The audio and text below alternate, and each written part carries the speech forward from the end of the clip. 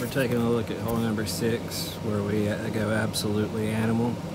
I start out with a power four ball at the plus 24 yard line at absolute max distance.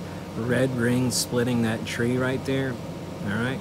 Then I switch to a berserker right about here is when I switch to a berserker. Max top, max left, and you can only do this with APOC 6 Plus, okay? I tried it with APOC 5 on two accounts and we ended up in the sand both times. We saved it once.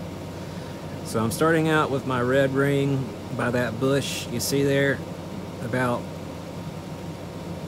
at least a third of my red ring by that bush at the plus 24 yard line. Max left curl, max left slice. And we go absolutely bananas on this hook whatever hook and we drive the ball forever and a day. We, we miss the sand and we go way long.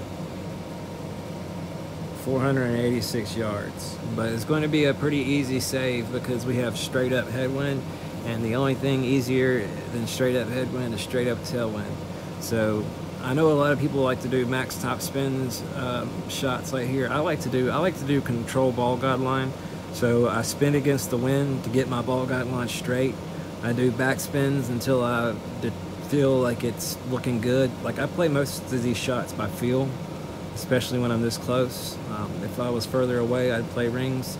But since this is pretty much dead on headwind, we're just going to play left edge and we're going to use back spins and a little bit of left spins and we're going to look at it and okay, feel it, looking good.